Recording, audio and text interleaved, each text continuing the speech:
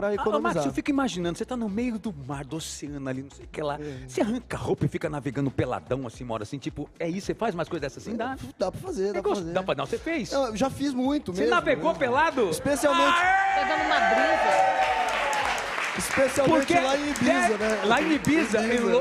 Na Lo- cara, deve ser uma sensação de liberdade. A gente já fica meio soltinho em casa, peladinho, quando vai ali na sala, pega uma água, a gente fala assim, nossa, eu tô livre. Imagina você navegar num veleiro no meio do oceano. Eu vou contar uma também, então. Conta, uma vai, vez eu tava, eu tava até com uma namorada minha, lá na, no- na, na Ribeira do Cavalo, que é uma praia muito bonita em Portugal. Atualmente eu vivo lá em Portugal.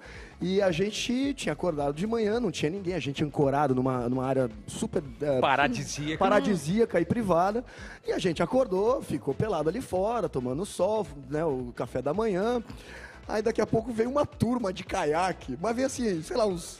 Bota aí uns 30 caiaques, né? Maravilhoso. Mas eles passaram, eu tava sentado aqui, a minha namorada ali, e a gente, né? Os caras passando aqui do lado. Eu falei assim: ah, eu não vou levantar e botar a roupa. Eles é que vão, vão ter que ficar com essa situação. E ela fez a mesma coisa. E o meu barco tem a bandeira da Espanha. Por quê? Eu tava em Portugal, porque o barco é- é- eu comprei em Barcelona. Ah, tá, tá, tá. Aí quando passou o último, assim, o cara olhou e falou: Viva la Espanha! Aí você. Aí levantou Max. Max. Bom dia, que tal, caiaque?